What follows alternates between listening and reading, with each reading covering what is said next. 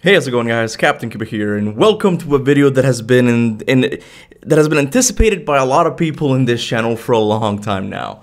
My reaction video to Under the Mayo's critique of God of War 2018. This is a video he uploaded back in 2018, I'm pretty sure, and essentially he's like the the leading YouTuber figure that you know hates God of War 2018 everybody who calls God of War 2018 a slow game, uh, walking simulator, like, their leader is Under the Mayo. This is a video that I've been wanting to watch for a long time, but sadly I just haven't had the time. For one thing, is one hour long, so I haven't really had time to, you know, make time for it. Um, but I wanted to watch it because God of War Ragnarok is surely approaching, like the release date is about to come out. And I wanted to see what his original critique of the game was. I haven't seen many of his videos. I think I watched his Doom Eternal video and also the God of War Ragnarok revealed him saying that he was disappointed. I thought it was pretty funny because he said he was expecting some major changes like a jump button, Atreus to be like 20 years old. And as someone who knows the lore of the game, I, I knew like at least the an older Atreus just wasn't gonna happen. And a jump button was just simply going to be too big of a formula change for what Santa Monica created in 2018. So I don't mean this I don't mean to create this reaction video to create some beef between me and Under the. Uh, I'm pretty sure him and I are going to agree on a lot of things because lately I've been thinking more critically about God of War 2018 and I still love it. I'm not changing my mind about that. But I'm considering whether it's the best game in the series because it, it, it does it does miss out on a lot of things like enemy variety, like boss battles. So I'm thinking that maybe as the God of War series stands right now, I think God of War 2 might be better because it's a more balanced game. Like for the hack and slasher genre, like it was like it was peak. It was right there. Like it was it's the best in the series, right? But God of War 2018 is very close behind, if that. Like it, to me, it's it's between those games right now. So I wanted to react this video to see what he thinks about it because I've, I've honestly never watched this review before, and I wanted to see what he thought about it. And Under the Mayo, if you're watching this, man, if you want to come over for a pot of cast and just talk about God of War, I would love to have you over, man. Let's just it, I don't have to invite people to just like the God of War series as it is right now. I can it can be a debate type of thing. You know, we can argue in a friendly manner. But anyway, let's just cut this rambling and start the reaction video. God of War 2018 is considered by many to be the best game of the year, even the game of this generation, a defining moment in the history of gaming, setting the standard for all that follow. But for me, it was a disappointment a tedious slog that tricked audiences into loving it through its technical achievements and pretentiousness. It's gonna be a long one, so grab a drink and a snack and get ready to get angry. This is how God of War was ruined. Well, I have to talk about this first because I'm, I'm kind of getting the sense of what games he likes uh, from just one thing he said. He said that God of War 2018 was pretentious. I want to see what he says about that. But I'm get I'm getting the feeling that again I haven't really watched that many of his stuff, but I'm getting the feeling that he likes games that are um for the most part mechanics focused. I'm guessing like Doom Eternal. I know that's one of his favorite ones, right? Um, I can't really think of any games right now, but he's most he's a guy that mostly likes uh, mechanics games, right? Like the, the he doesn't really. I, I'm gonna get this feeling that he doesn't really care too much about the story of the game as opposed to the gameplay, right? And that's something that him and I kind of disagree with, I think. I think gameplay, of course, should be first, but right behind it, it, it should be like story. Like they're so close that it's almost undistinguishable. Like it, it, they, they're so close to me that it's almost a tie, right? But I get the feeling that him calling the game pretentious, it just it just shows that he doesn't really care about the cutscenes, like the moments of Kratos getting the blades, none of that. He cares only about the gameplay. But anyway, let's see. I'm judging him before I, I get to listen to what he thinks about. This is going to be a long video, so sit back and enjoy, guys. This is loud.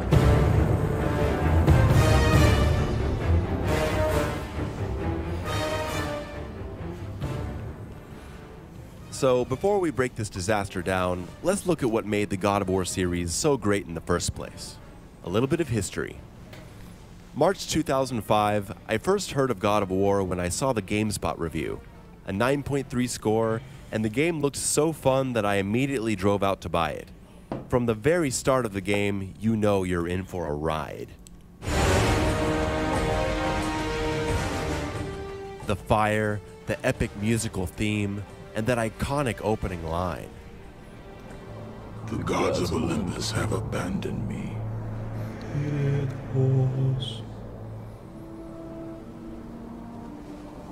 Now, Now there is there's no hope.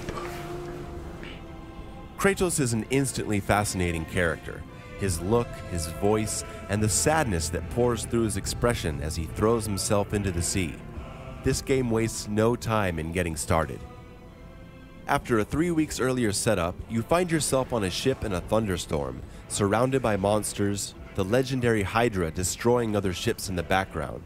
Here you are allowed to experiment with the game's excellent combat system, one that is infuriatingly described by some as button mashing. Oh, you just mashed square all day. Not really. Let's get into it. Six presses of square, the light attack button, will perform a simple combo and finishing hit. If you incorporate the heavy attack button, triangle, the combo will end in a heavy smash. And mashing these combos will get you through some of the game, sure. But if you don't learn to change it up and use other attacks and guard, you will start to get punished. Hard. And you'll get wrecked on higher difficulties where a collection of three enemy attacks will take you down. That's okay. That's okay. I'm sure he's going to talk about this more in the future, but I can see that he's the one who recorded that gameplay because he's already starting to kind of change the narrative a little bit. In any game you play, you can always play it as simplistic as you want. He said there that, you know, if you only use like square, square, triangle, or square, square, square, like you will get punished. True, but not really at the same time.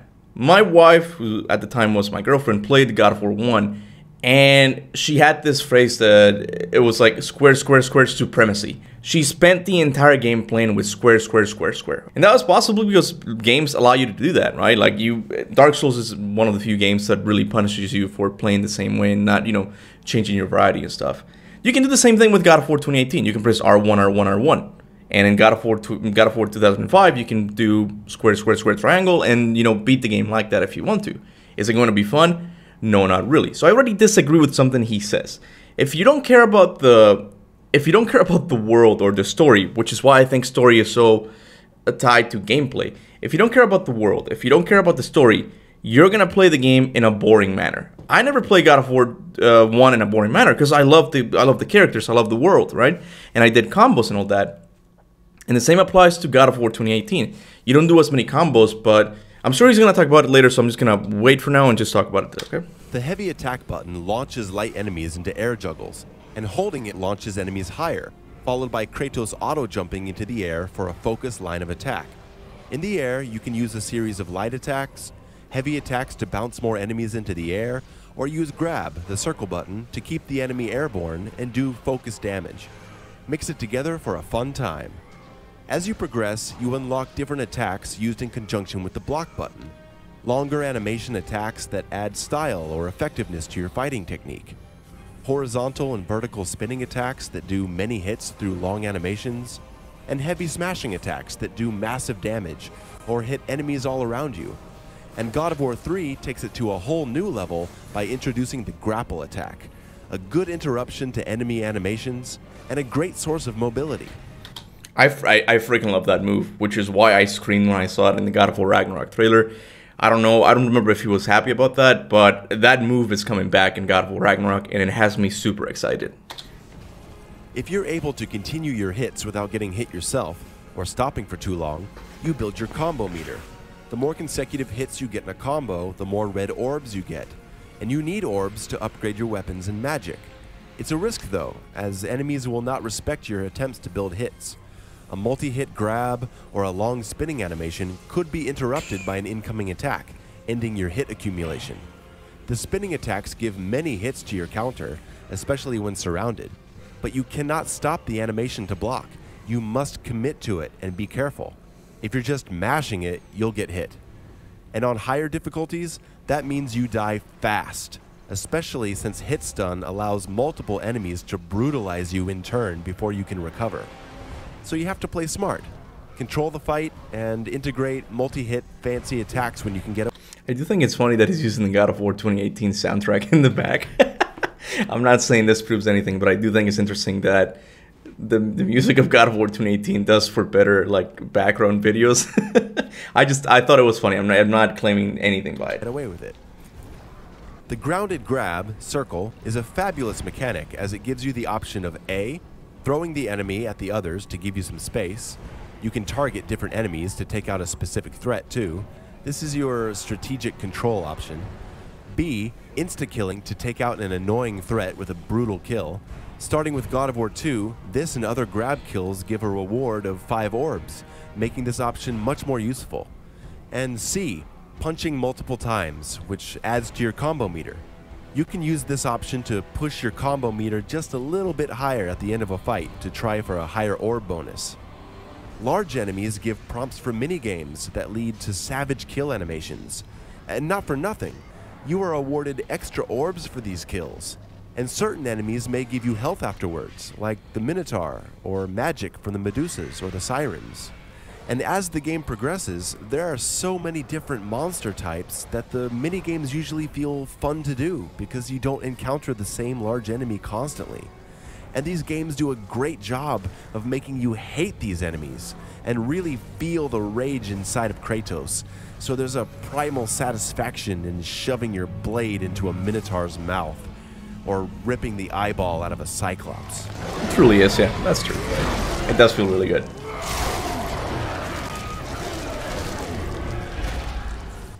This is important. Do you see what the game is doing? The game is actively encouraging you to have fun and be flashy. It's incentivizing you to use multi hit moves by tying their riskiness directly to the benefit of your combo hit counter, which rewards you for being creative and not stopping. But why didn't my my wife at the time didn't do it? That's that's gonna be like my. I feel like it's gonna be a reoccurring question for him in this. Oh, it's part one. There's a part two. I just realized that. Uh, my wife didn't do that. She just played. She she played the game with square, square, square, square. And my argument is that she doesn't care about the God of War world as much as I do, right? And I'm guessing he liked this older Kratos style as well, right? The mo- I, I'm willing to bet anything that the moment he saw the he saw the kid in the game, that was a huge turnoff for him. Okay, that was like the thing is like, oh, this game is just trying to be The Last of Us. Like I'm again, I'm prejudging him, but I feel like that's where he's going with this. Okay, I feel like he saw Atreus for the first time in the God of War 20, uh, 2016 E3 demo, and he's like, no, this game is gonna be bad no matter what. But anyway, let's let's just get to that, okay? And the minigame kills benefit your health, magic, and orbs, as well as serving as a release for your tension. The heavy attacks are there for when you just need something to die, and then a grab mixed in can help control the fight space or give a brutal kill. Magic gets added into the mix beautifully, as lightning spells control space and multi-hit. Medusa's gaze freezes enemies and gives large brutal kill orb bonuses as enemies shatter. Zeus's lightning bolt can multi-hit and effectively eliminate a targeted threat. And the other games follow this design and improve on it. God of War 2 has the Chronos orbs and the Typhon wind bow, and much better flashy attack animations. God of War 3, along with the amazing grapple, gives a bow and arrow as a separate ability apart from the magic.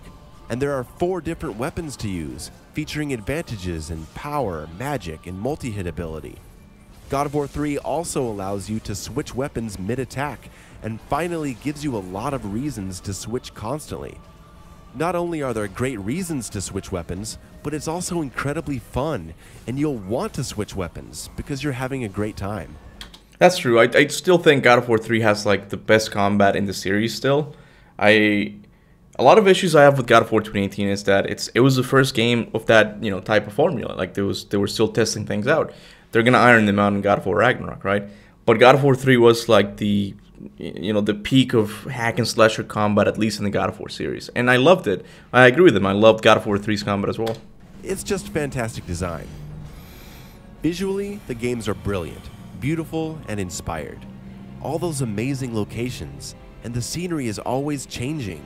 Ships at sea in a storm, Hades, Mount Olympus, the Titan Atlas, swimming sections. That's something I've recently changed my mind about God of War 2018 not changed my mind, but I've realized it. I'm like, oh, God of War 2018 does feel kind of plain when it comes to the environments, right? Like Midgard has sections that look beautiful, but most of them they just look like a forest, right? They're not as interesting to look at. That's why maybe I gravitate towards Alfheim as being one of my favorite locations. Alfheim looks so mythical, you know, like so mythological is what I meant to say.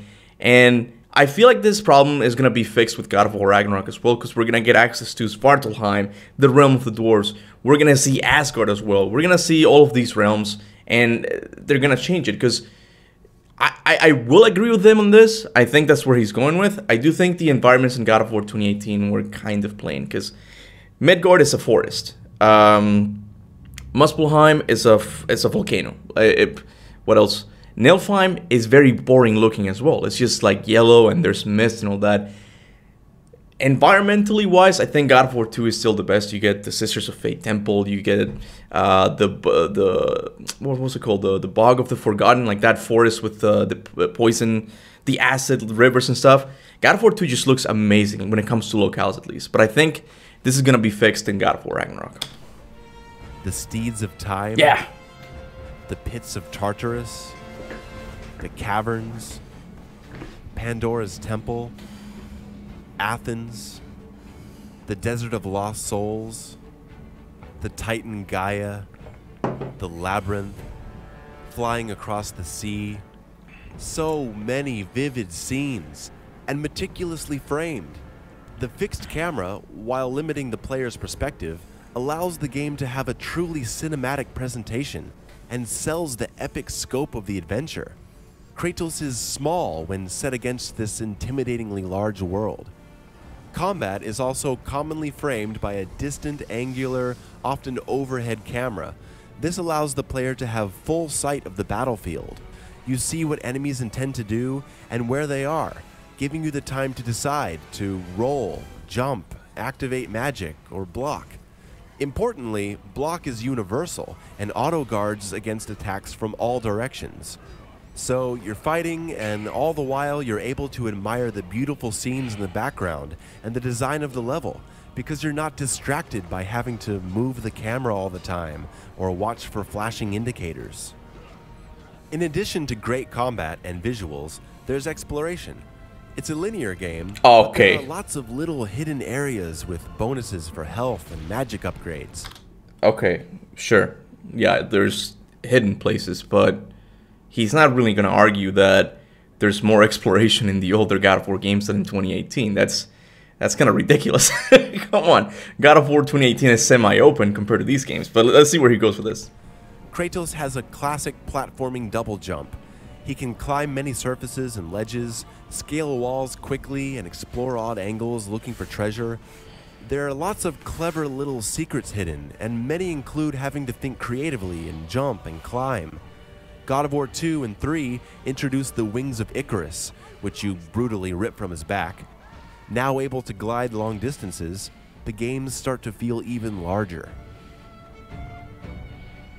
Boss fights are epic, sometimes involving puzzle elements like climbing boxes to impale the Hydra, or freezing and breaking the mirror in the Sisters of Fate fight. Yeah, I, I do I do there's something that has has been kind of lost with the God of War series as, as it has gone on. Like even in God of War 3, you don't really get this as much.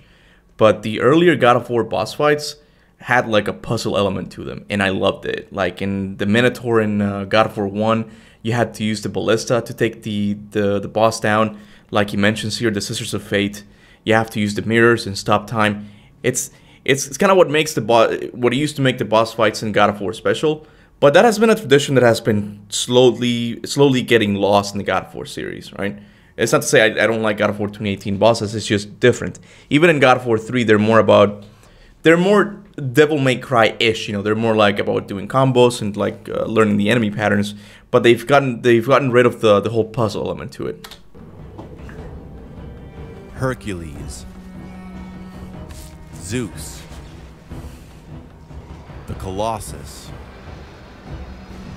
the Minotaur, Ares, Kronos, Hades, Perseus, Yep, Poseidon, the Barbarian King. They're all so good, and the games do a great job of making you hate these characters But- so much that you want to see them dead. But okay, um, the Magni and Modi boss fight was pretty good. The Dragon boss fight was pretty good too. Sigrun was an amazing boss fight, arguably the best boss fight in the series. I- I'll give you that the final fight with Baldur is a little bit simplistic, but at least it's got like that classic cinematic God of War style. You know, like I don't. They're just different boss fights. Like he's just. I guess he's just trying to, you know, get you hyped up about all the number of boss fights you had in previous games, which is something I think we're gonna get a lot in God of War Ragnarok. The number's gonna go up. I just know it. especially Ares and Zeus.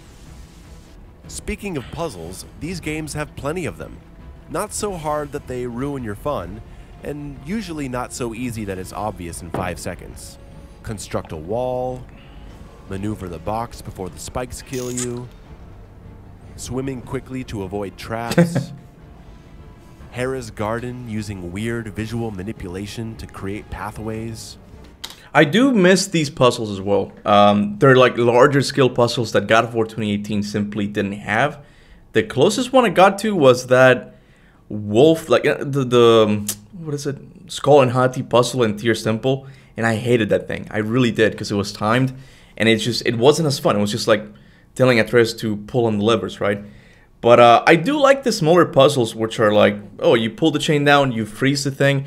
They're simplistic, but they're used to kind of break the the pacing a little bit. Not break the pacing, but to uh, to better the pacing. I would say it's like, oh, it's just instead of just like killing enemies, like you do this little thing. You know, it's like it, it's not they're not too complicated that you're gonna spend like 30 minutes trying to figure it out. But it's like it, it makes you think for a little bit.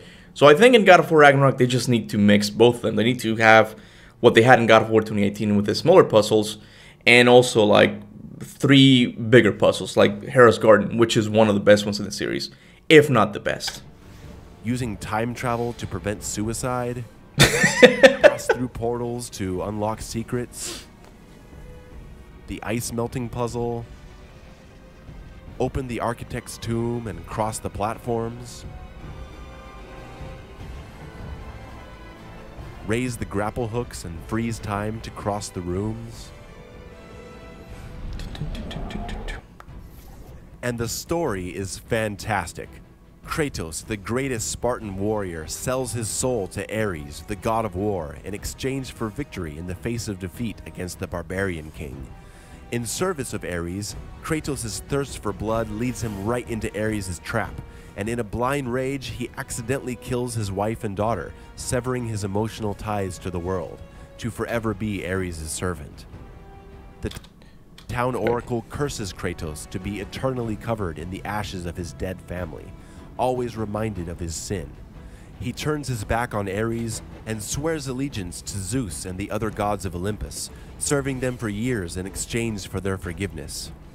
When Ares lays siege to Athens, the gods must stop him, but are forbidden from intervening directly.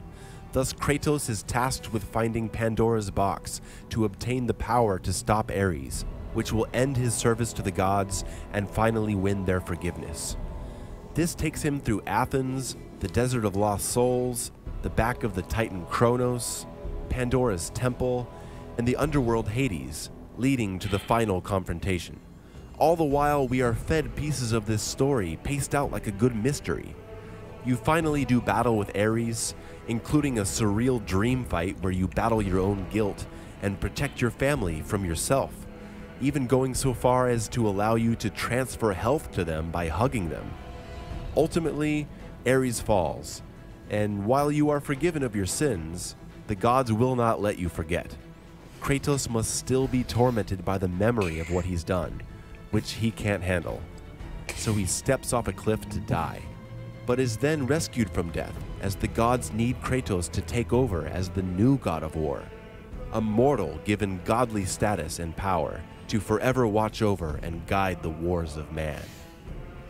So don't Wait, wait I want to see what he says right there. tell me that the new God of War finally gives the series a good story. The original games, especially the first one, have fantastic stories filled with drama, character, emotion, and an epic sense of adventure.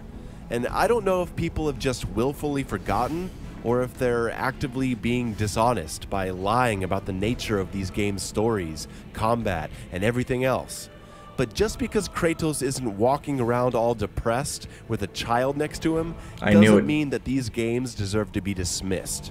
I, I knew it. I, I knew that was his issue. You know, like walking around like this. Be I knew that was gonna be his issue. Hold on. So I want to I want to talk about the whole story thing, right? He says that the older God of War games had a good story, and I I, I can see that he was being a little bit sneaky. For one thing, he did say that, especially God of War One, it's true. Out of all the older games, God of War One has the best story. But I'm about to blow your mind. God of War 1 doesn't really have an amazing story. It has an amazing backstory. In the game itself, you don't really get that much of a character, a classic character arc. You know, it's just environments, and within the environments, you get flashbacks to his story, which is a really interesting story. The same happens with God of War 2. Nothing really happens in the story of the game, he's just trying to turn back time. What you get, how you get interested in the story is it's just the backstory, is what happened between the gods and the titans. The backstory of Zeus, how he betrayed Kronos and the other uh, titans. It's not really in the story. In God of War 2018, you actually have a good story in the game, as it's uh, it's not just a backstory. It's got the backstory, but it's also got a good story. You get Atreus, who's a character that's always with you and you're always talking. Same with Mimir. You're not just a killing machine. The older God of War games gave you scenarios just so you know you could plow through them, just fight enemies and all that. There wasn't really much progression in the story. You would always get most of the story right at the beginning and right at the end. In the middle, it was just like scenarios for you to fight. God of War 2018 has like gameplay and story interwoven throughout the whole experience. That's why moments like getting the blades back have such have resonated with fans so much. It's because the story is happening as it's going on, not just a backstory. But I do agree, God of War has always had an interesting story. It's just that I think God of War 2018 tells a better story.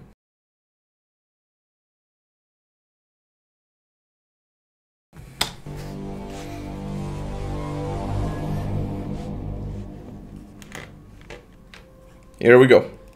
Alright, now that we appreciate what made the original series so great, let's compare them to the new God of War.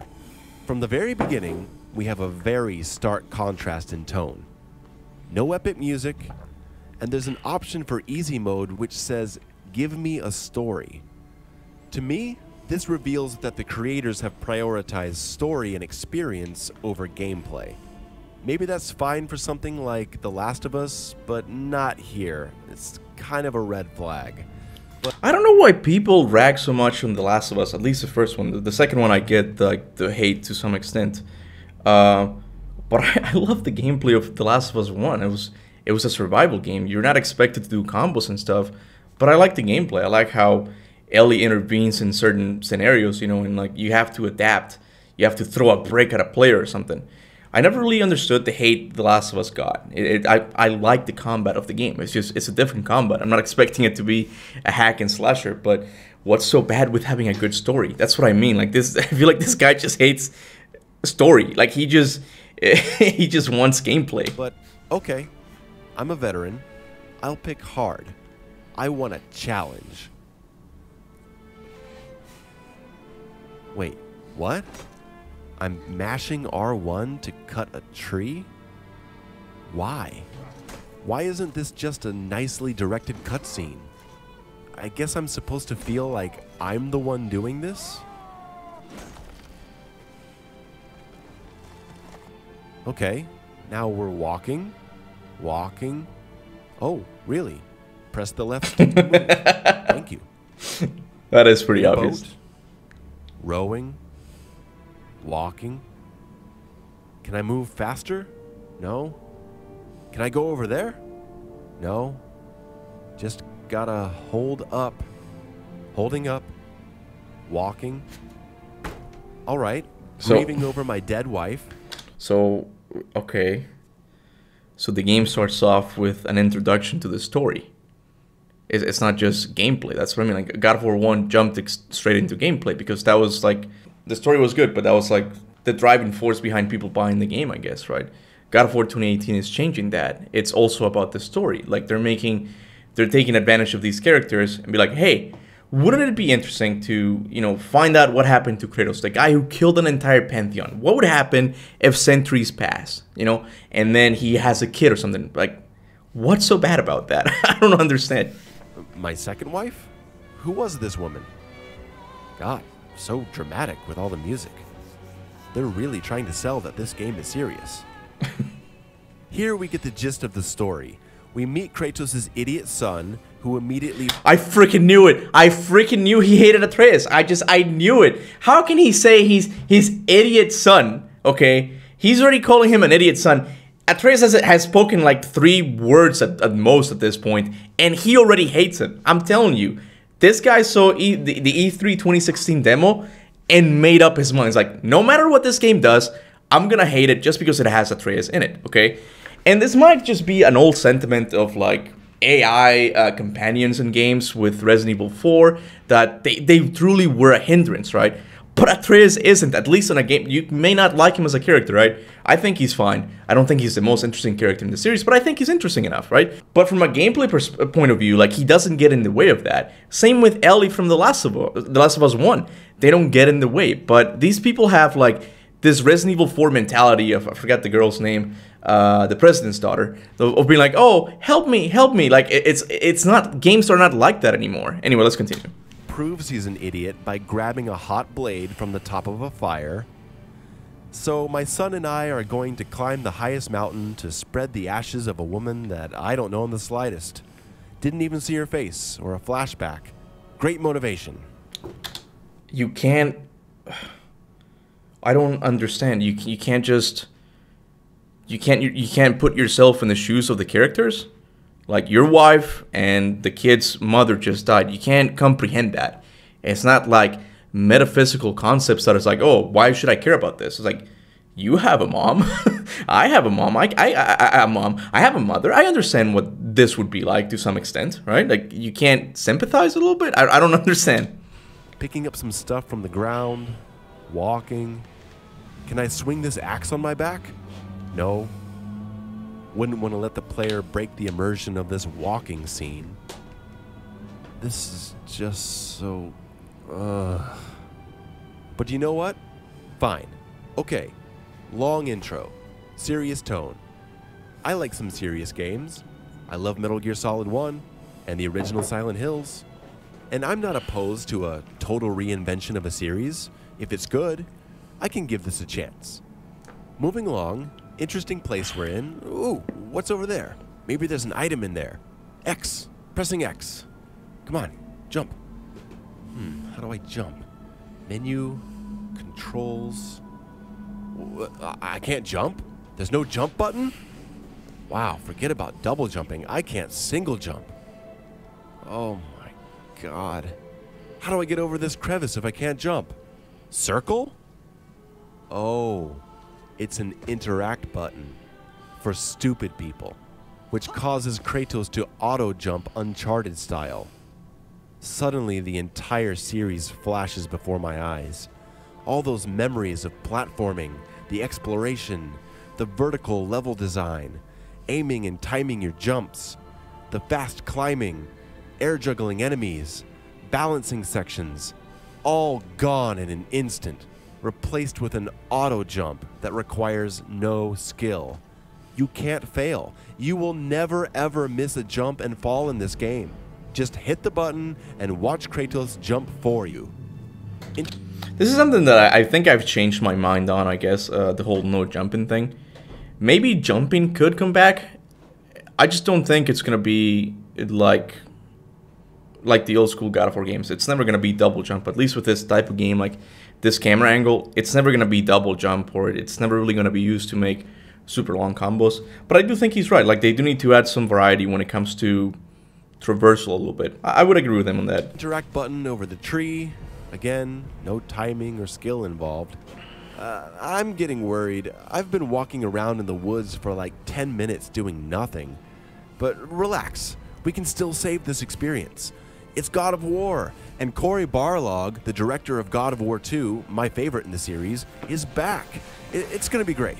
This is just the start, a slow start. Now, what's this here?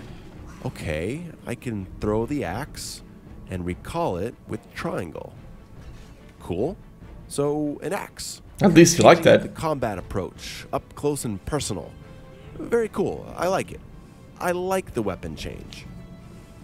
We got our first enemy, 15 minutes into the game, and we finally get to fight something. Let's go. Looks like our attacks are similar to the classics. Good. Light and heavy. But holding heavy doesn't launch into the air. Makes sense. Kratos has forgotten how to jump in his old age.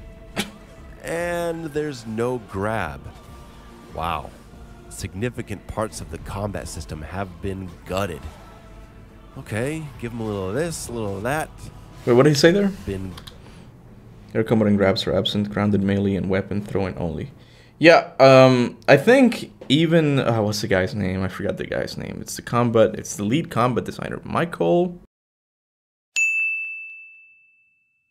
Anyway, the lead combat designer of God of War 2018 and or God of War Ragnarok did a GDC talk on the grab button thing, and I think originally they were going to have one, but I'm forgetting the reason why he decided to opt out of it. So it's not it's not this narrative that game developers are stupid, right? It's just that there's a reason behind all of this, right? And maybe you disagree, maybe you don't.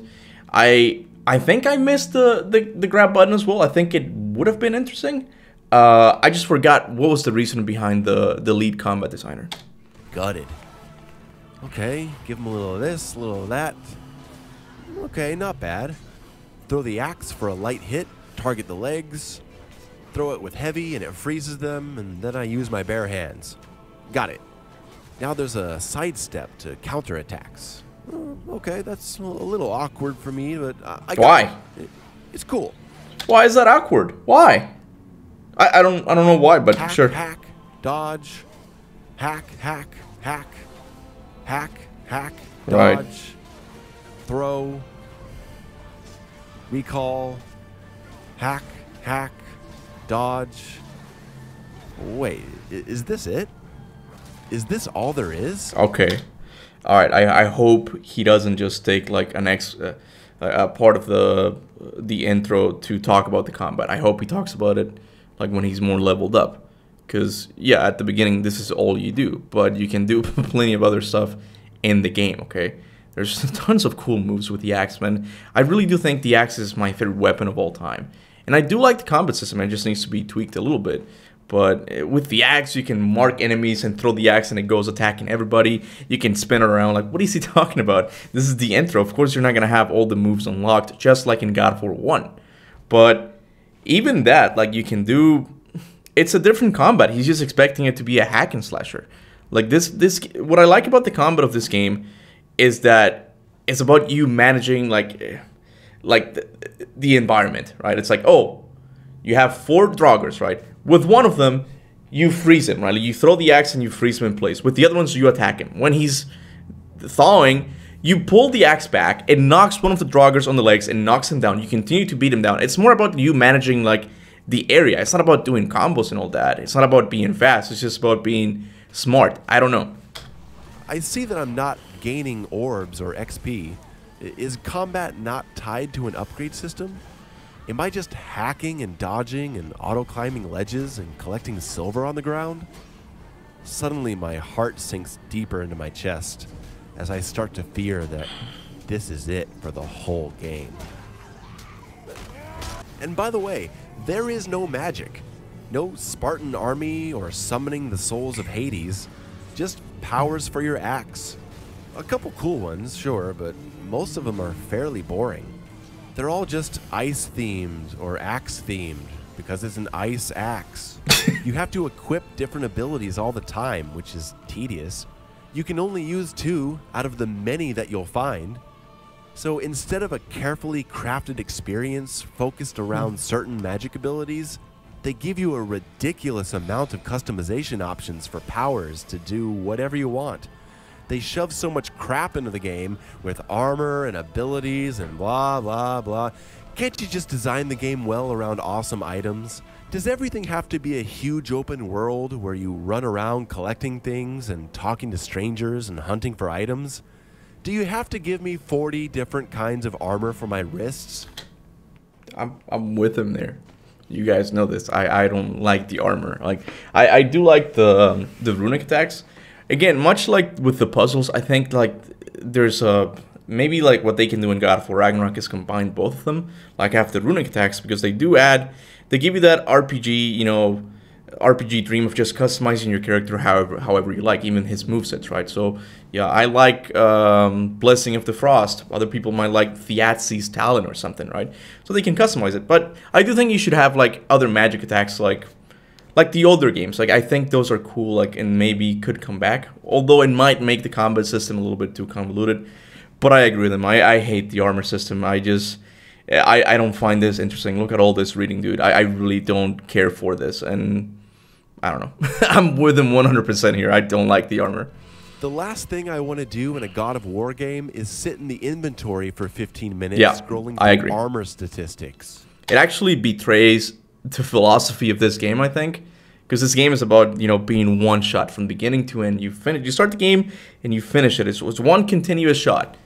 Except when you have to go into the menus. I think menus I, I really hate menus in games in general. And that's one of the things I missed about old God of War games is the simplicity.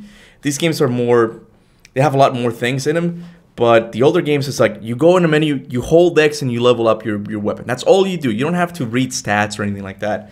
But I know this is one of the things the God of War community hates me for. Like one of the things they hate about my opinion of God of War 2018 I, I, I wouldn't mind the RPG systems being dialed down a little bit or at least making them more easy to understand. Let's talk a little more about the magic. In the originals, you had to refill your magic meter by finding blue chests. This meant that on harder difficulties, you had to be very wise about when you used it, especially since they give you less. Magic could really help you in a fight, but you didn't want to just use it all, because maybe in the next room, there's an even bigger fight, and if there's no magic chest from here to there, you're going to go into that fight with an empty magic meter, and that's a bad place to be. So again, strategy, resource management. Compare that to this game, where your special abilities recharge for free. And as you level up and your abilities get more powerful, they recharge even faster. Yeah, I think something else that I agree with him, like the whole recharging thing. God of War Ascension was the game, the first game in the series that started doing that, and I didn't like it in Ascension, and I'm not sure I like it in God of War 2018 either. There's even uh, a talisman in the game that refreshes all of your attacks. I'm like, this is so cheap, dude. Because if you have like the final, um, the final attack, I forgot what it's called. I think it's Thamur's Breath, where he holds the axe uh, up and like the souls just swirl around and kill everybody in your area. That's just lame. That's just not fun. And then you press L1 and circle, at least for me it's circle, and then it refreshes that ability and you can do it again. That's not fun. I don't know. I, I agree with him on this. I don't think that's that's very fun. Um, but again, the gameplay designer said that they didn't want to add the chess like in the older games because he found out that players would end up hoarding the magic and never using it, right? He wanted people to interact with the magic, so uh, they decided to go with a cooldown. So again, there's a reason behind why they did things the way they did. It's not just like, ah, whatever, throw in some cooldowns and that's it. There's a reason for it. I just think that maybe in God of War Ragnarok, it needs to be that talisman of refreshing your your uh, your moves. Get rid of that. That's poison, I think. I, I don't like that one bit. And make the cooldowns slower, I think. I think that would be the best thing to do. So you can always feel comfortable using them, because they'll be back in a minute. Exactly. If yeah. you really want to break things, you can find the Talisman of Unbound Potential, which instantly refreshes. Exactly. Yeah, that one. Special abilities. So walk into a fight, use all your abilities, drop the electric spell to stun everyone, refresh your abilities, and use them again. Fight over. And as you're fighting, you get XP at random. This is perhaps my greatest complaint about the game. There's no reason to play with any style, and no reason to keep your offense going, because there is no combo meter. No combo meter to reward you for playing well and playing flashy. The only objective in New God of War is to kill all the enemies as quickly and efficiently as possible. It makes the combat so dull and repetitive and limited because the XP I'm earning is not dependent on how well I perform. All you're going to do in this game is mindlessly hack at the enemies, sidestep, and hit with your best attacks. No grabs, no air juggles, no risk reward. See, the creativity is entirely absent. And since the fights are mostly staged in similar ways to the originals, it just feels like the same old fights, but with a huge amount of limitations. Plenty of reviewers said asinine things like, finally, God of War has a deep combat system instead of just being a button masher. Hey, the original's combat was way deeper than this hacking and dodging crap. Anyone who says the original games were just mindless button mashing, I dare you to pick up the originals see- on the hard difficulty. But see, we go back to the whole thing of like my wife not wanting to do combos in God of War 1. He's doing the same thing with this game. He can he's leveled up now. He can do plenty more things in the combat eh, with the combat, but he's just not doing it. His argument is that the game is not teaching you making a good job of making you want to do these things, right? But I, I I'm gonna have to disagree with him. I, I honestly think it all boils down to the inclusion of Atreus. I really do. I don't think he likes the story at all, and he just has a boring experience with it. It's the same thing that happened with me in uh, Devil May Cry 3. I just I didn't care about the world. I just I didn't care about Dante, the story. It just it wasn't really interesting to me. And I'm pretty sure I played the whole game with square, square, triangle, triangle, triangle, right? But that's not how you play the game. You can do a lot of things. You got guns, you got other weapons, you, you can do plenty of combos, right? But I didn't do that. Even though the game did a good job of teaching me, I wasn't engaged in the world. And that's, I think, what happens with him. He just doesn't like the Norse pantheon. He doesn't like Atreus. He doesn't like this new somber Kratos who's, you know, who's, who's wanting to change his life. So he's bored with, with the story. Therefore, he's bored with combat. He's just, he's just only doing R1, R1, R1. It's the same thing my wife did. or Titan or Chaos difficulty, and never play defensively. See how far you get. Try playing without intelligently using your multi-hit attacks and grab. See, right there, again, right there, when the the elf thing was doing that thing, spinning his staff thing, the game is signaling you that he's gonna spawn some more enemies. If you were truly engaged in the combat, what you would do is step back, throw the axe at him, and then go to another enemy, like prevent him from doing that. But he's not doing that. He just he's just waiting for it, just so it can seem tedious. I I think this video is a little bit misleading, to be honest. and magic, and see how fast you can upgrade your weapons. Good luck. And yes, those old games were designed to be played on higher difficulty once you mastered the combat. The combat was the main feature, and it was super rewarding to replay on those punishing difficulty levels. And the fact that they included those punishing difficulty levels in the new game is an acknowledgement of that.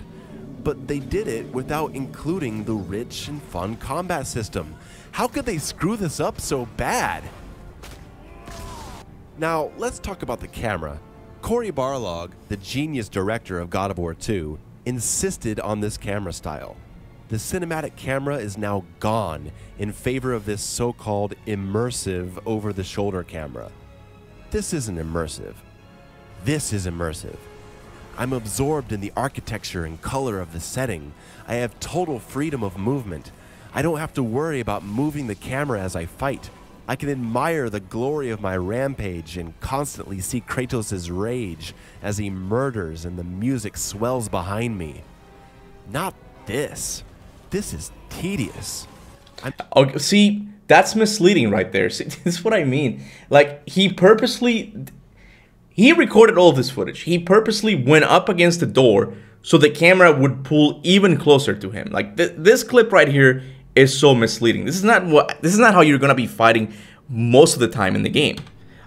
So, hold on. Not this. This is. Yeah, I th- th- there you go. See, like he he he wanted to have this shot. That's what I don't like about this video so far. It it's it's a little bit misleading. He's telling people, "Oh, the camera gets in the way." The camera doesn't get in the way. It really doesn't. I don't mind the camera at all. It's it kind of feels like those people who complained about uh, I think yeah, Resident Evil 4. Resident Evil 4 changed the camera as well from previous Resident Evil games, right?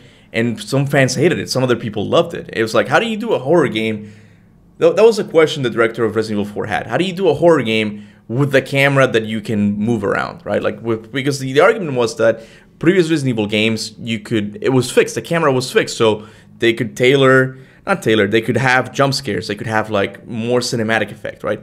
And while I do love the old school God of War camera, this is a thing of the past. Games just sadly or you know for for the better just don't have fixed camera angles anymore. This is a thing of the past. I don't think he's ever going to see this.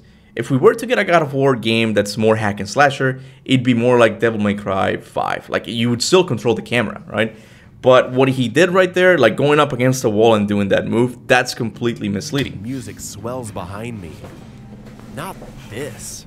This is tedious. By the way, like at least God of War 1 had a lot of camera issues as well. So again, like he's just kind of twisting information there as well. I God of War 1 had a lot of camera issues. It got way better in God of War 3, but it's still you have the same problem in both games. I'm staring at the back of his head for 95% of this game.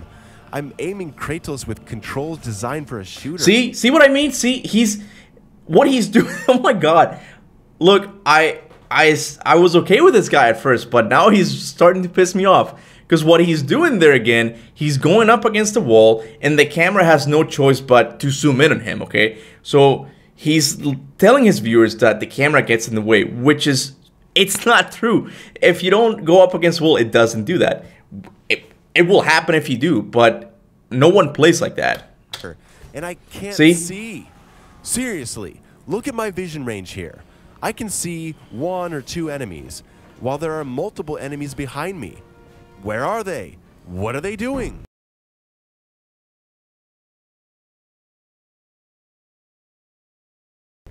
God of War Originals, not a problem. The camera view lets you see all around you. If someone is going to attack, you react accordingly. But in this game, they changed the camera to show only what's in front of you while keeping the surrounding combat scenarios of the originals. This does not work. It gets better in areas like corridors because this control scheme is suited for shooters like Gears or Uncharted or the new Tomb Raider. But significant amounts of combat are presented in open areas with enemies attacking from all directions. The only way to know if an attack is incoming is, you guessed it, on screen indicators. oh. Uh, I, I want to see what he says about them first because, look, I, I don't, I think they work, they serve their purpose, but I do think they're ugly. That's kind of my opinion on it. Like the indicators, I think they're they're really ugly. And for an example of how games should be, I always look to Dead Space. I think Dead Space is brilliant in the sense that the HUD is part of the game as well. Like your health is not really a health bar, is a little thing he has on his back. And I think all games should move towards that, like that complete immersion. Like everything you need for the gameplay is part of the story and the world as well, right? And God of War does a good job with Mimir as well. Like if you're listening to Mimir, he'll tell you, "Watch out, brother, behind you," right? So maybe like if they would change like these indicators to something that's more related to the story, I think it could work. But I don't know what he's gonna say about them, but I, do think they work. Like the red one, you're about to get hit, so you better move. They work, right? It's just that they're kind of ugly. Oh, how I hate on-screen indicators. So not only is my playing freedom restricted by being forced to constantly adjust the camera, but now I also gotta be following indicators flying around the screen and changing colors? There are enemies behind me doing something. I have no idea what. I can't see them.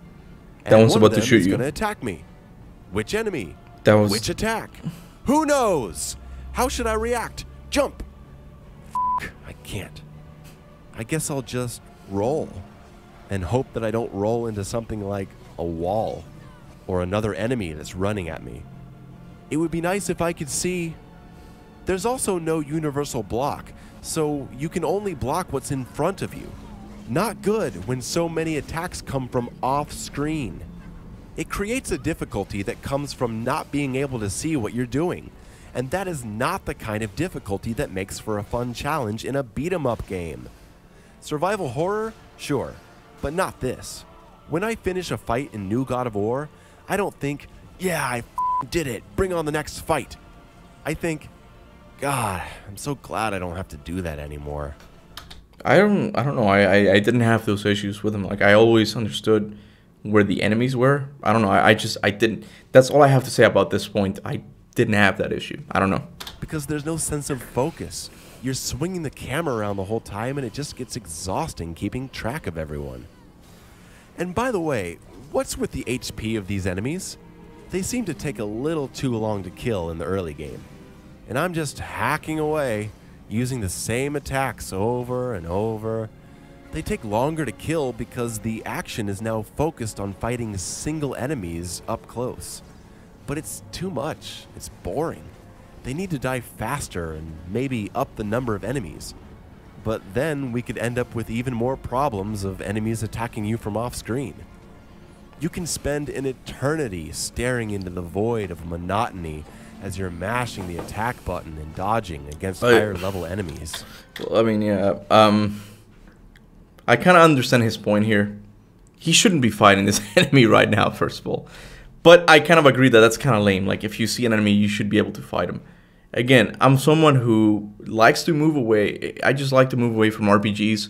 I'm with him at this point. I prefer mechanics. I prefer to learn the patterns. I don't want I don't want enemies to be like this big, big sponge where you can just put your hits into. Right. I, I, I want them to be interesting, and I think God of War still succeeds because the enemies are interesting enough mechanically. Like this, the travelers are super fun to fight. Like they they do so many moves, and you really do have to learn their pattern, right? But when you get a higher level one, it is kind of boring just hacking away at their health, right? Honestly, I, I kind of like it, okay, because it's more of a challenge, and I, that's why I like the Valkyries, right? They're a challenge, and I just keep at it. But I do get it that it can be tedious.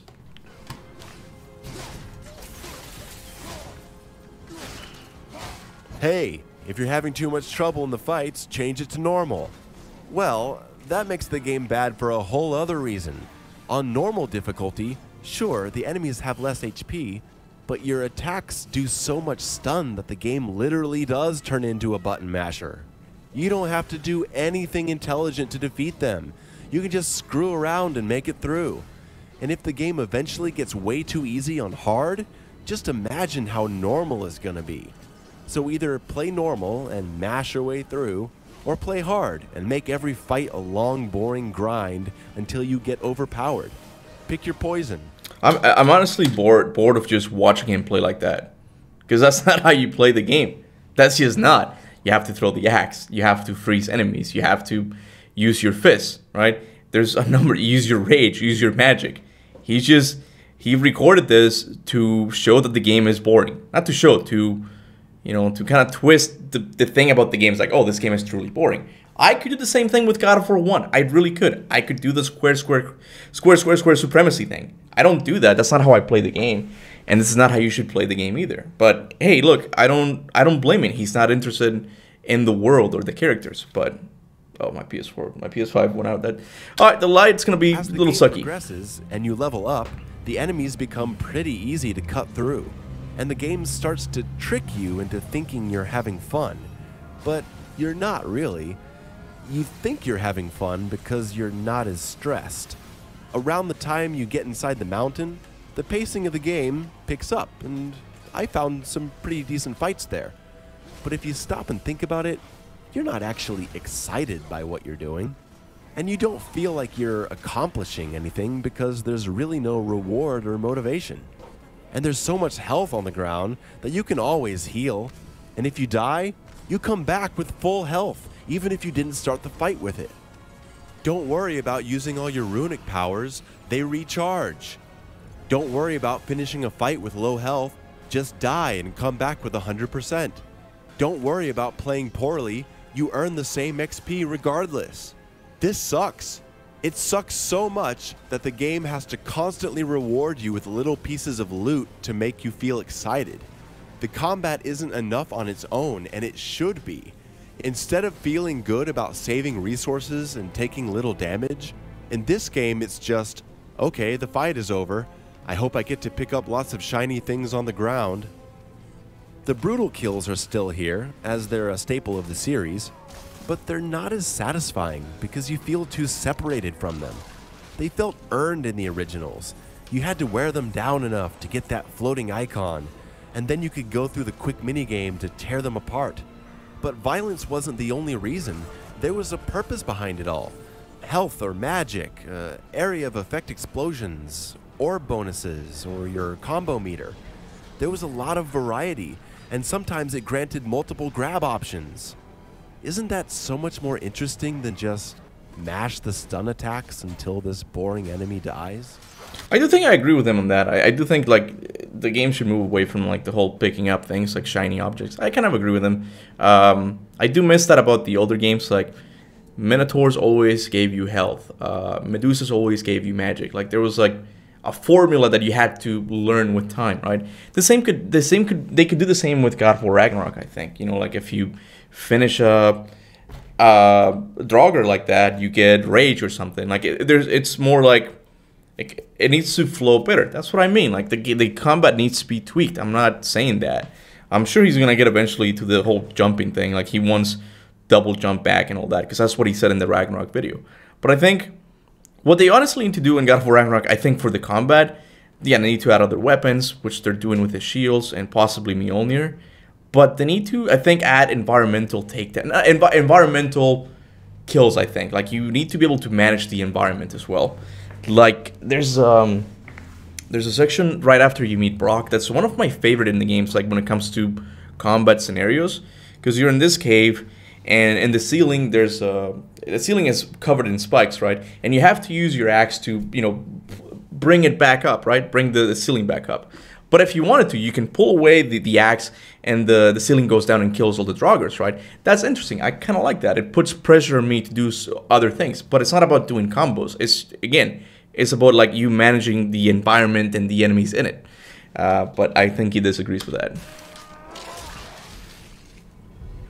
Speaking of enemies, do you see anything in common with these designs? Did I mention that every one of them is just a dude? Pretty much dude, dude, dude, blue dude, yellow dude, archer dude, hammer dude, flying dude, Valkyrie dude, a dog, a wolf, a monkey. So I miss the Cerberus. Uh, okay, wait, wait, wait, so yeah, I, I, get it. Like there's Draugrs and Hellwalkers and all that, but he doesn't like the the ogres.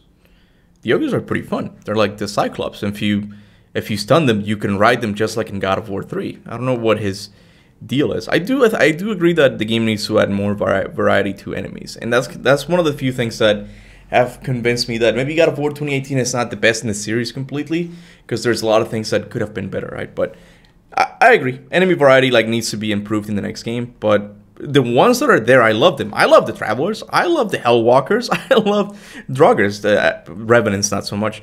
But it just it needs more of them, I think. But anyway. The Gorgons. The Minotaurs. The Wraiths.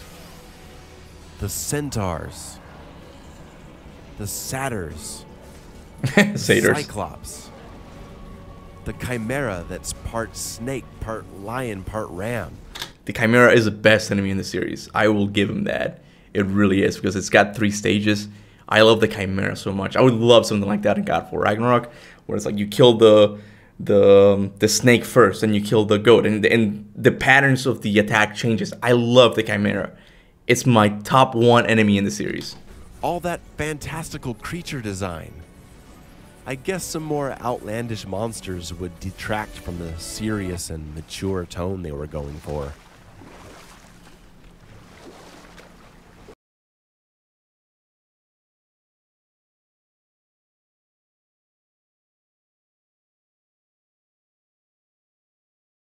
Well, she blames me in large measure for her present circumstances, and not totally without reason.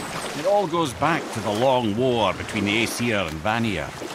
Prior to that, wars for the Aesir were easily won, but the Vanir had proved their equal and exacted devastating damage. Both sides suffered tremendous losses, and for many of us, quite frankly, war was simply no fun anymore. Even the bosses are just dudes. The trolls? Oh, the troll battle. This is when things start getting obviously bad. This is supposed to feel like an epic fight, but my god is it boring. There's not enough attack variety to make this interesting, and he has so much HP that it feels like it goes on forever. What's worse is that this troll fight is copy pasted all through the game over and over and over. I'm, I'm tired of talking about this because they're not boss fights. They're like the Cyclops of the new game. But I get it. You know, the team ran out of uh, uh, money and time. So yeah, like instead of a boss fight in Helheim, they did have a troll. I get that same in Tyr's Temple. I, I am with him. I, I, God of War 2018 should have had more more boss battles, especially like given the size of the game. Every time he shows up in whatever form, you just think, God, really? This game suffers from a severe lack of interesting enemies and boss encounters. The boss fights are mediocre to poor. Right, he chooses the worst one, the the freaking elf, like the dark elf, like that's the boss fight. The boss fight he chooses to to use as an example. Great. The fight is epic at times, even if it revolves around a dull story. Thor's sons are kind of fun. The dragon. Kind of fun. What do you? Thor's sons are super fun. Like if especially if you play them in a harder difficulty, they're super amazing. Like you have to learn their patterns and crap. They're super cool, and like you have to manage them. Again, it's about managing. Like you can't just kill one and then go to the other. You kind of have to switch in between, and they all have different. Magni and Modi are awesome boss fights. What are you talking about? Meh. You hack at his toes and throw balls at him. It's more of a set piece than a boss fight. Ugh. And it's not. Is he really saying that? Is he is he really saying that it's more of a set piece than a boss fight? God of War 3 had plenty of those, and there wasn't anything wrong with that. Are you really calling Kronos a, a boss fight. Kronos was more of a level. Same with Poseidon. He's a boss fight, but for the most part, he's a level. That's what I mean. This guy's he's a little bit inconsistent. You know. It's not like the dragon is an antagonist of the story. It's just a random monster that you gotta fight.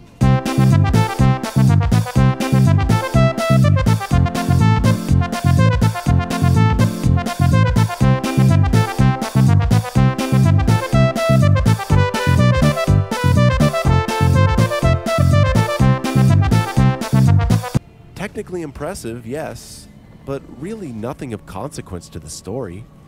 And this wouldn't have been so bad if there'd been some awesome fights around this. But no, this dragon fight should have felt huge like Kronos or the Colossus. These boss fights suck. It's just a bunch of troll clones and bosses that are overly simple and leave the action for the cutscenes. It's either a guy my size or something so big that it's impractical to actually fight.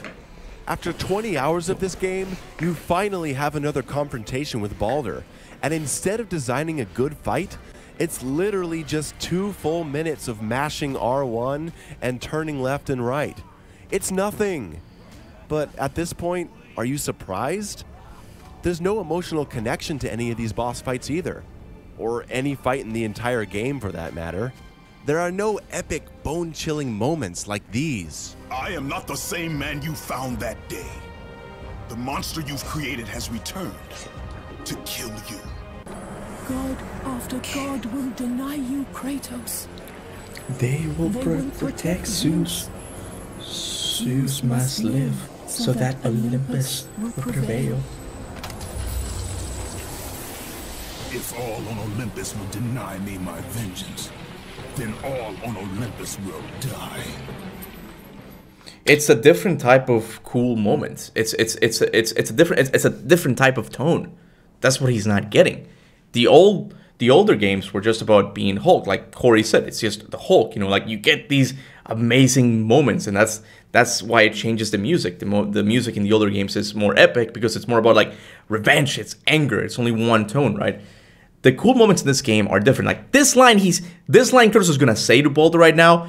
This line is bone chilling to me. Like he's like, "This path you walk, vengeance, you will find no peace." I love that line, and if I were to do like a top ten God of War cutscenes, like this, this would be one of them.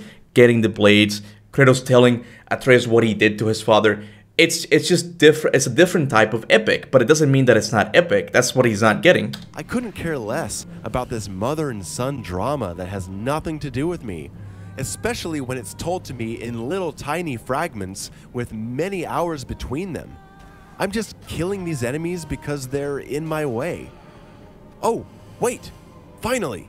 After traversing this dreary underworld level, do I get to fight that giant death bird? It was cut from the game because they didn't have time nor resources. This is this is understandable game development. This happens all the time. The Icarus wings were cut from God of War 1 and there's many things. This is maybe he just didn't know it at the time, but that's what's that was that that's what was gonna happen with this bird. I'm telling you, under the Mayo, there's gonna be more boss fights in the next next game. I promise you, dude. Do I? No. Screw you. Here's another troll.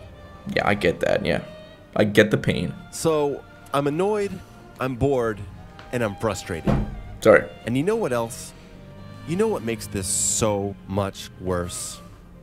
This little puñetas right here. What did I tell you? What did I tell you? I knew it. I freaking knew it. The moment he saw Atreus in, in uh, E3 2016, he just didn't like the game.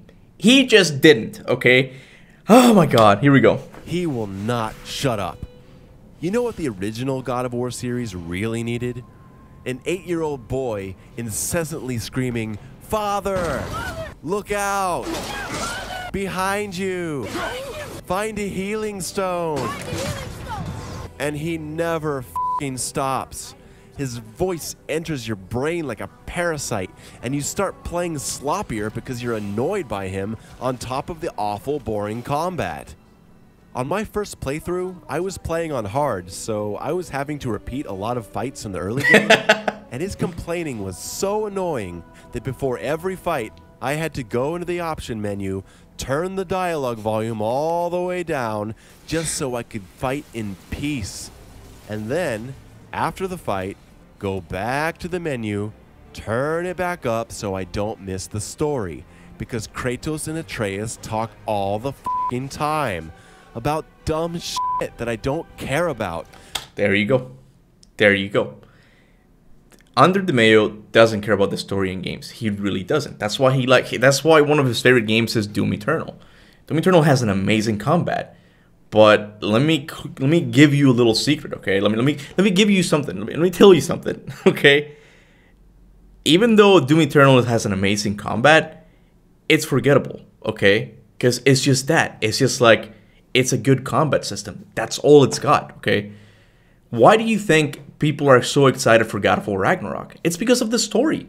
They care about these characters. They care about Atreus' next chapter. See, he's talking about, I don't know what he's talking about right here, but I love all of these conversations, at least on the first playthrough. On a second playthrough, and especially when I'm streaming, yeah, like all of these conversations can get annoying, but that's what the older God of War games don't have.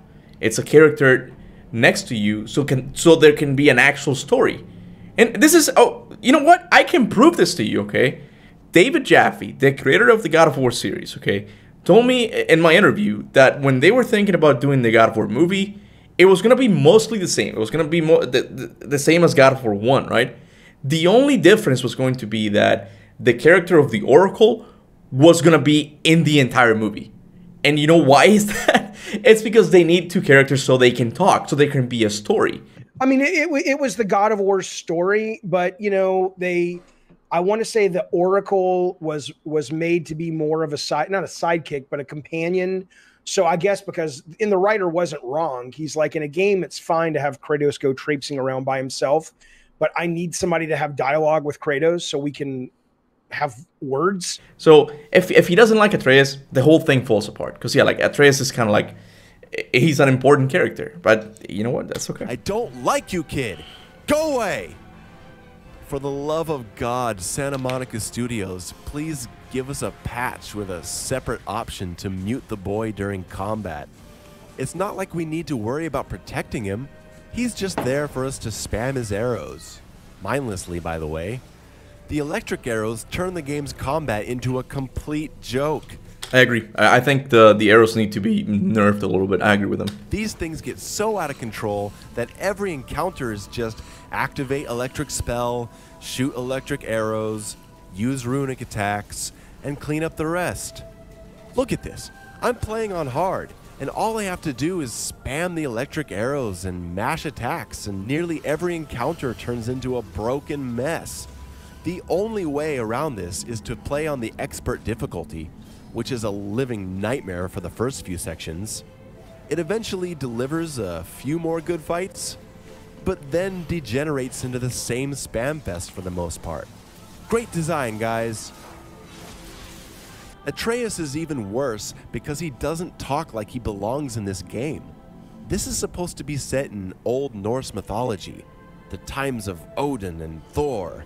But Atreus' English is way too modern.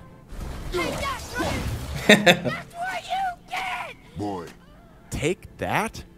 That's what you get? There's no way anyone would say that. There's no way the son of Kratos would speak like that. This kid even says whatever when he gets pissy. Whatever. Whatever. That's- whatever. Whatever. It says, don't wake him. Whatever. That's okay. Again, that's misleading right there. Okay, that's only in one section of the game where Atreus gets gets cocky after he learns he's a god. But he Under the Mayo didn't say that. He just said like, oh, whenever he doesn't, whatever, he says whatever, right? It's like that's not the case. It's only in that section, and that section is supposed to annoy you. Like even all the things you learned up to with him up to that point in the story, like don't work. When you tell him to shoot the arrows, he doesn't do it. And I think it's awesome. I think it's an awesome way of mixing story with gameplay at the same time. But he didn't say that. He just said that that's the whole game. Like he didn't say that, but he alluded to it. And that's what I don't like about this video. I swear this kid is about to pull out a skateboard and sunglasses. he starts mocking the way Kratos talks and basically turns Kratos into a joke himself. Because Kratos is so one note through the entire game that he's like a parody. Let me guess. You're gonna be smug and say you told me we shouldn't get involved. Boy, read this. I said, the only time you care to talk to me is when you need me to translate for you. If mom was if here, your mother was still alive, we would not be here at all.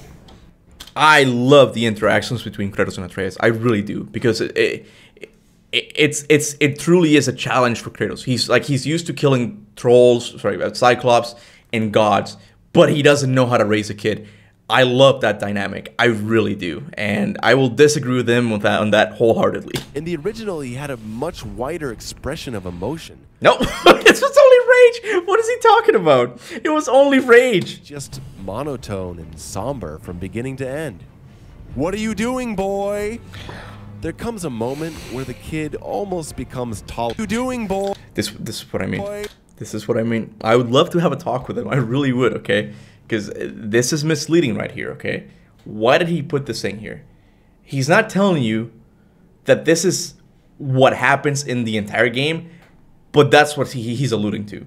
This happens sometimes, okay? But you, when you're in combat, Atreus is perfect. He doesn't do any of this, okay? This just happens for the most time off screen. But he captured this moment. It's like, oh, I'm gonna use this clip and tell my audience that this happens all the time, which it doesn't. It's the same thing with the camera. This video overall is very misleading in his critique of the game. There comes a moment where the kid almost becomes tolerable. But once he learns that he's part god, oh my god, he becomes insufferable. That's the point. Odin's right. We are a threat. Enough about Odin and his whole stupid family. Nobody cared about him anyways. What's the difference? There are consequences to killing a god. Yeah, very monotone, huh? Do you hear me? I heard you, and these are not subjects for discussion. Do not push me, boy. Fine. Watch your tone, boy. Boy. Whatever. Whatever. God, I can't express how much I hate this fing kid. And it boggles my mind that so many publications insist that there's a deep emotional bond between Kratos and Atreus, that this game has a moving emotional story. The original had an emotional story. The PSP game Chains of Olympus had an emotional story. It's emotional when Athena dies at your hands. Yeah, but sure, it's emotional, but it's not as it wasn't as emotional as it should have been. And you want to know why? Because Athena wasn't in the entire game. Like she, she didn't exist in the entire game. She talks to you in a statue once, I think. Uh, you only see her in the beginning when she talks to you in the statue, like, "Don't do this, Kratos. This is too important." I don't know what she said. I forgot. And then she dies. How are you emotionally invested in her death? That's what I mean. As opposed to Balder, who you see a lot more, right? Or as opposed to when Atreus does something does something bad, like you're more emotionally invested because there's actual characters. In the older God of War games, there were characters. The characters were used to just get to the next part. It was just like, oh, you kill uh, Perseus. What's your emotion, emotional investment in Perseus, for example? There's none, right? At least with Magni and Modi, there's more. Like you can hear them talk about their father and how they can't, you know, fail him. Like there's there's more emphasis on the character. This is something you're not gonna convince anybody with. It's emotional when Kratos realizes he's doomed to forever remember his past. I agree with that. Yeah. It's emotional when you finally beat the living shit out of Zeus for turning his back on you, his son. But this? This little that doesn't even speak like a person from this world, that moans and complains constantly, screams at me all the time while I'm trying to fight, that Kratos just calls boy for 40 hours? Get the f out of here. The only moments of real feeling in this game are the moments when Kratos is reflecting on his experiences from the other games. I haven't even talked about the story yet, because I don't want to. I can barely remember. The actual story is terrible, nothing more than find a place to spread the ashes. Okay. I, I do get that, like, it, it's not as mythological as uh, as I would have liked. God of War 1 is like, get Pandora's box. God of War 2 is turn time back, stuff like that. Um, but yeah, this was more of an emotional story, so it's like, oh, find a place to spread the ashes. I get that. But the ending, there's a payoff in the ending. I don't know. I just, I liked it. For it. There are moments, sure, where you get drawn in. I mean, it's a well-crafted game. So oh, and I should say that um, God of War Ragnarok is going to have more of that feeling of the older games in the sense that you're going to be doing something more mythological it's not going to be about spreading Faye's ashes. It's going to be stopping Ragnarok, I'm pretty sure. It's going to happen.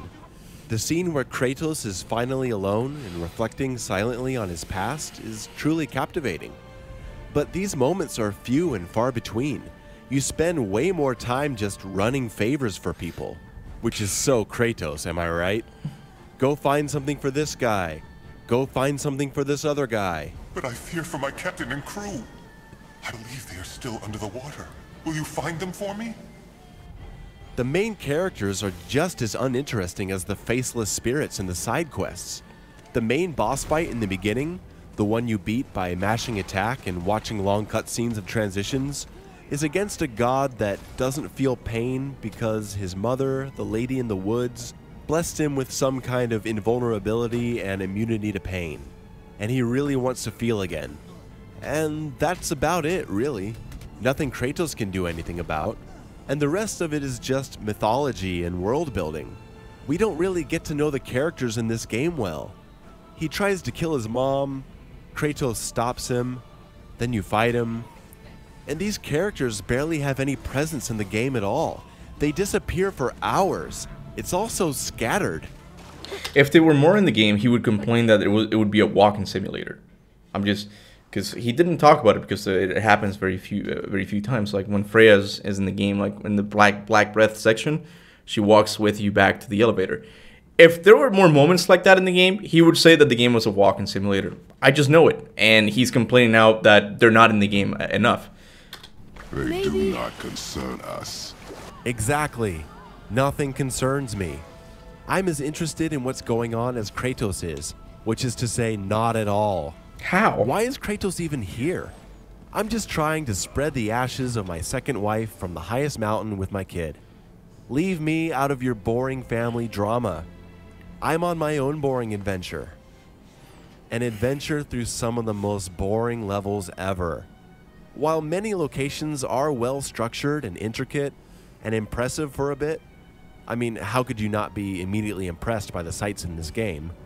They quickly lose their charm water, rocks, grass, trees, mud, for hours.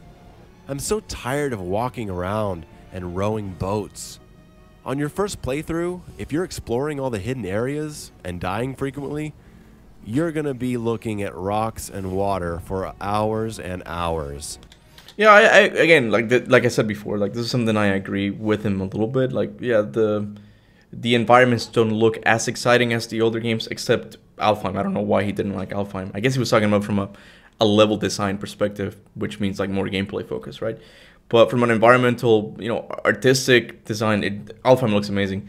Midgard is okay in some areas. Yeah, like Thamur's body, Jormungandr, and Tyr's Temple, they look interesting. But for the most part, yeah, the environment is kind of, it's too plain. I, I agree with them. And once you finally get to Alfheim, it's the same thing The change of worlds is super refreshing when you finally get there, but this too fades fast as you realize it's just another color of rocks and water and more boring structures from the same camera angle, the same auto climbing and unsatisfying combat. Levels are filled with long, drawn out sections of walking around, climbing, carrying things, finding pathways. Jump through this water wheel by mashing the interact button. Can't miss time to jump and die. That, that is pretty stupid. I, I'll give you that. Like you, you can just stand there and press X until like it, your turn is to jump. Like it, it, there's no thought involved. I get that. it until Kratos auto jumps. But yeah, you go 10, 15, 20 minutes without a fight, much less a good one. It's another way the game tricks you into thinking the combat is fun. They knew it was boring and that you'd realize it if there were a lot of fights. So they put an eternity of walking and rowing boats between them so you're excited to finally kill something. But you quickly become so powerful that the bland combat areas might as well not even be there. You'll find plenty of puzzles. Wait, hold on. I, as you get more powerful, fights become less and less satisfying. I think I agree with them on that as well. Because yeah, like you get, I agree with that because the whole like cooldown thing, like that, that that's a bit of a turn off for me. Like looking at it now, it's like yeah, you, you the cooldown is too fast and you can just spam your attacks, right? Um, the most fun I had was with the the Valkyries, right? But I, I I kind of agree with them on this, right? might as well not even be there. You'll find plenty of puzzles, and while a couple of them are good, get ready to do the same puzzle again and again. Nearly every single puzzle in this game is just find the hidden thing and throw your axe at it or shoot it. Cans to open chests, stones to free the dragon, where you run around aimlessly looking for the right rocks to break, which could be anywhere. The game comes to a screeching halt as you wander around looking into the distance trying to find these things. And by the tenth time you've done it, you'll start losing your mind. Could they not come up with anything better than this? The game itself knows this. Remember in The Last of Us, after like the fourth time that you have to find a way to cross the river? Ellie jokes about the repetitiveness of the puzzles. Here, Atreus does the same thing. Greatest man nor tallest tree begins as any more than me. Yeah, it's you. Stupid rails. Being meta and joking about your repetitive puzzle design doesn't make it any better. Just I don't- make better puzzles. Again, I don't mind those. I, I really don't. I, I do like them. It's just that I, I do think they need to add more of them, but they shouldn't get rid of these ones. I, I like them. Like they're more time based. I love these ones. Hit the cans, shoot the exploding things to free the chests. But that introduces another problem I have. So many chests and items that it's very common for this to happen. You find yourself in an area with some kind of puzzle. Here, you have to move this glowing torch to different spots in less than 10 seconds each move. You have to explore this entire area looking for these transfer points, and then babysit this thing to each one. It's easy to get disoriented because, well, there's no camera direction. You're spinning the camera all over the place. After seriously five minutes of running around these rocks and moving the torch, you finally get it to this door. Another chest. Okay, give me something good. Oh, Yep. another grip for my blade. one hundred percent. I agree with him. Like, it it shouldn't be like this. Like, when you do like one of these big areas that have that these these big areas, the, these big optional areas that there's a reward. The reward should be something that you can use at any point in the game, not just like very early on. Because what could happen is that this this perk, this pommel, needs to be used like earlier in the game, but you finish the game because that's how I play like semi-open world games. I do the story first, and then I go and uh, do the optional stuff, right? Um, what if I don't need this? I, I agree with him on this. I, what, what if I don't want it, right? It's it, it should be more about mechanics. It should be like, oh, you now have the boots of Hermes. You can go up certain walls and explore different areas. That would be cool. Like if there were more mechanics, me- mechanical focused, I would love that. But again, man, like the RPG thing is a big hindrance for me. It really is. It's a good one, but I like the one I'm using. So I've just wasted my time. Thanks, game. Here's what they could have done. Enter an area and see that the goal of this puzzle is whatever thing. Axe pommel of blah blah blah, granting cooldown to your runic attacks. And then you could say, oh, hey, that sounds pretty good. I feel that it's worth the next 10 minutes of my time screwing around with this puzzle. That's not bad. I like that idea. It, kind of, it's kind of, it kind of is a immersion breaking a little bit, but yeah, like if they're gonna stick with the whole like, oh, you get a pommel at the end, like that's that's not a bad idea. I, I like this. Hmm. You know what game did this perfectly?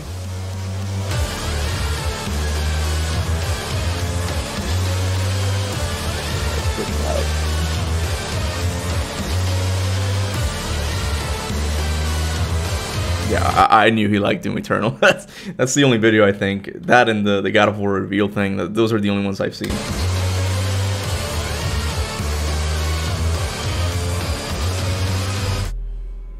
Doom 2016. When you find the rune challenges, it immediately tells you what you'll win if you complete it.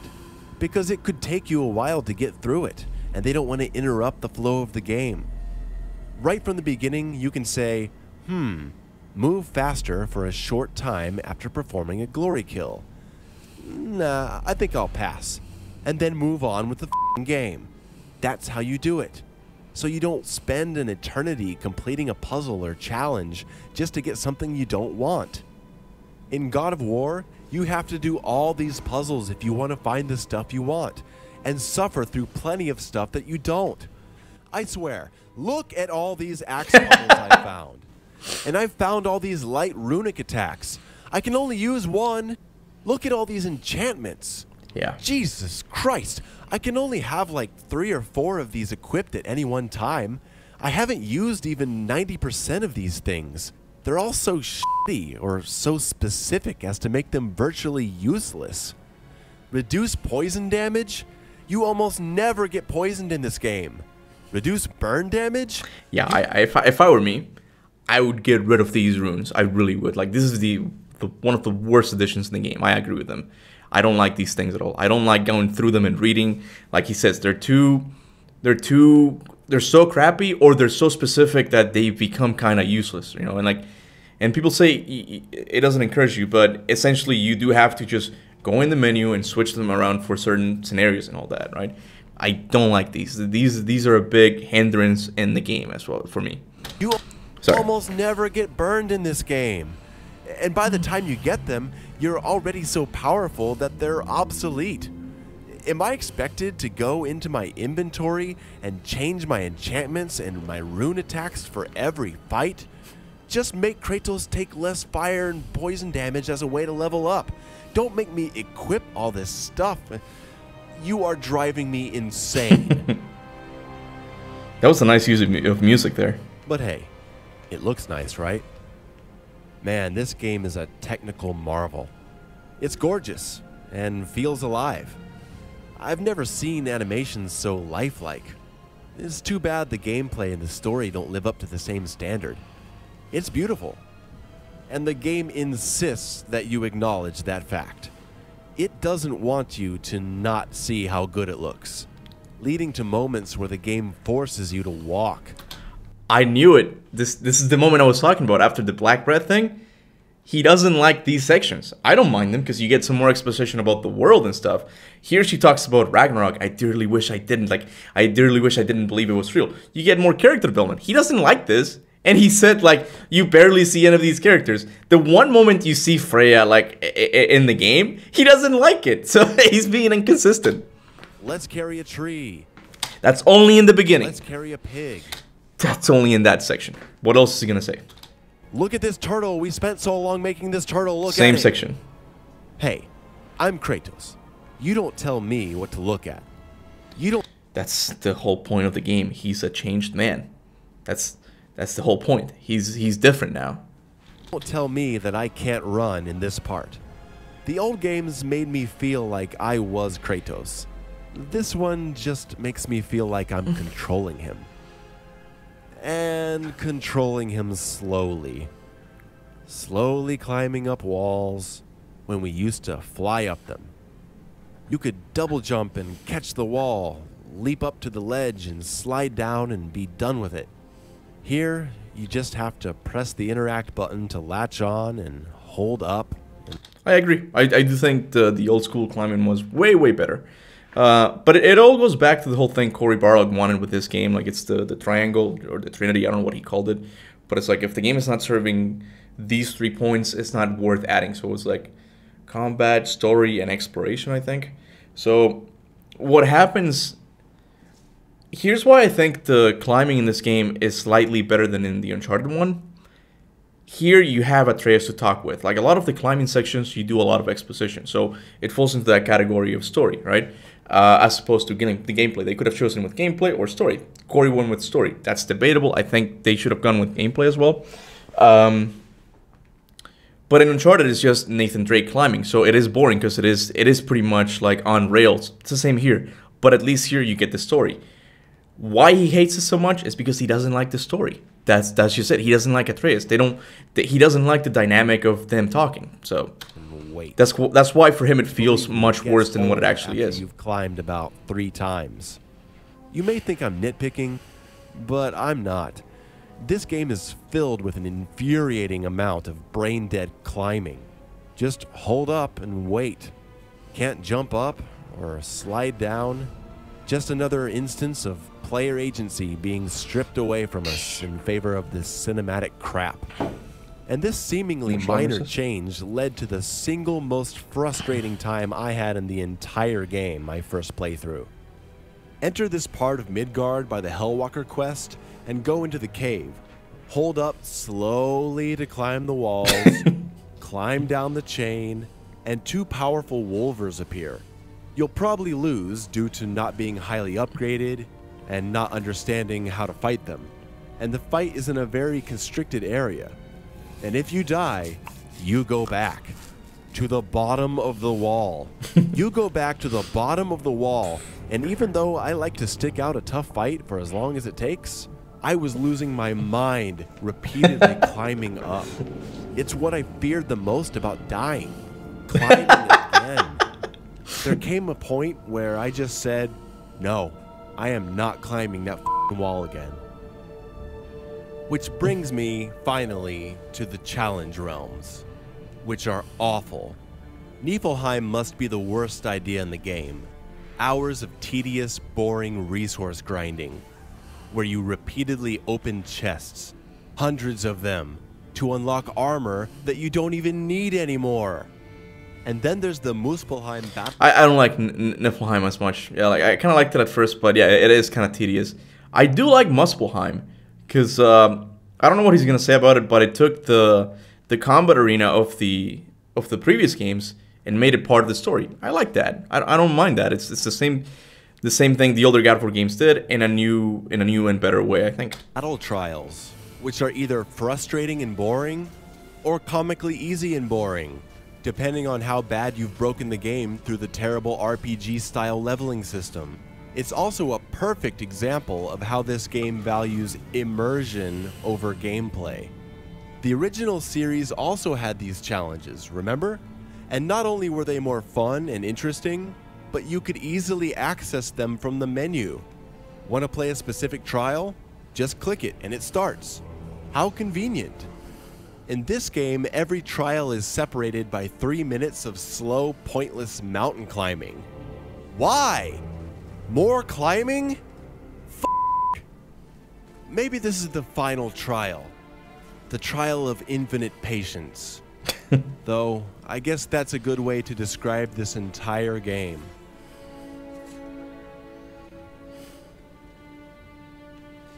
So, we've looked at all my complaints. Do you feel the same way? Probably not. Everyone loved this game, while I was left dumbfounded. Why did this game get so much praise? That's the question, right? Well, I think it's a few factors. One, people and critics already decided that they were going to love this game before it came out. There was so much hype around this huge return of Kratos, as there should have been. He's a special cultural icon, unique in gaming. His games are great, and Cory Barlog, director of God of War 2, the best in the series, was back in the director's chair. It looked gorgeous, and while I was worried about the amounts of walking and talking and babysitting, I was still excited and ready to love it too. I bought it the day it came out, anxiously, and three hours in, I had my head in my hands in disbelief and disappointment. It's similar to the way I felt at the end of the new Predator film, sitting in the theater opening night. 2. People are blinded by the technical achievements. It's so beautiful and well crafted, and all the animations feel lifelike and smooth and intricate.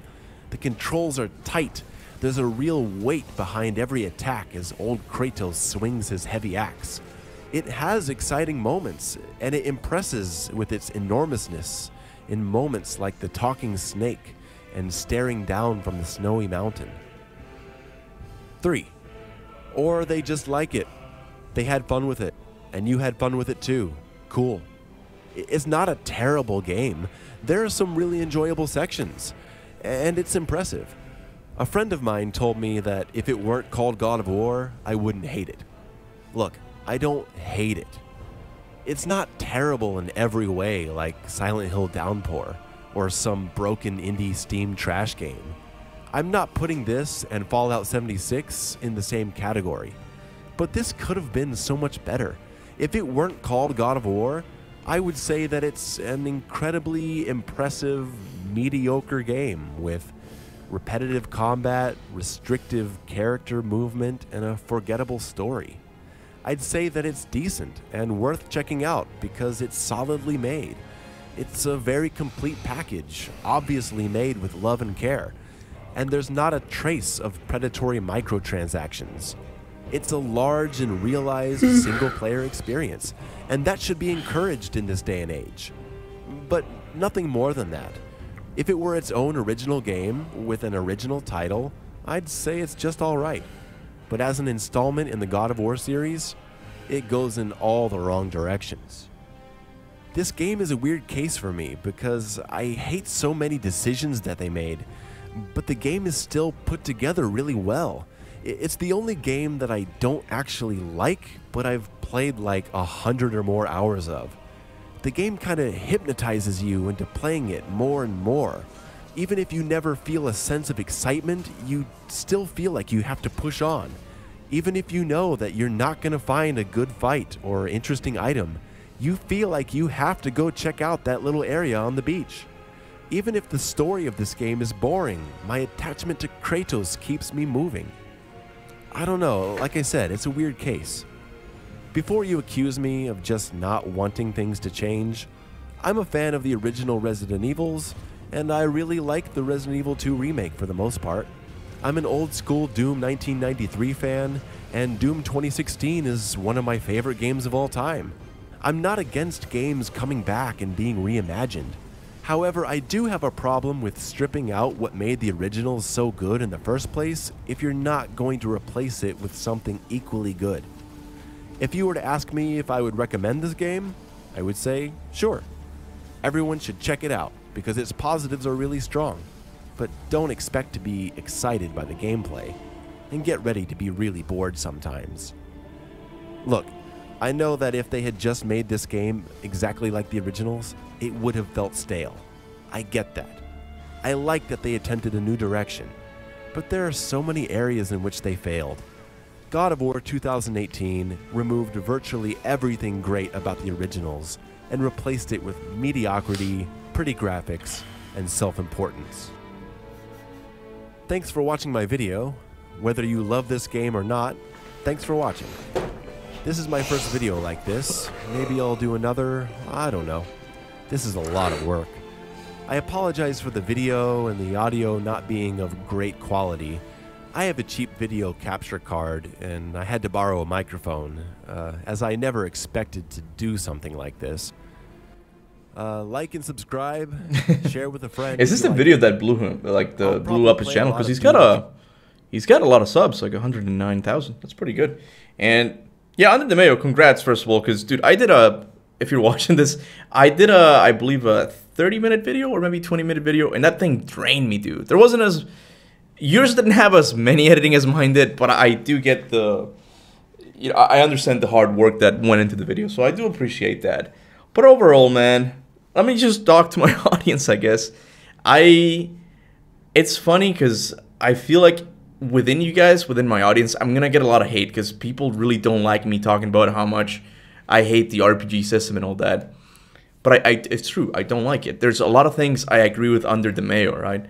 But I really do think that his dislike of the game stems from the fact that he doesn't care about the story of it. Like he doesn't care about the new Kratos. He doesn't care about uh, uh, Atreus. He doesn't care about Freya. How can you not care about Freya? She's su- such an interesting character.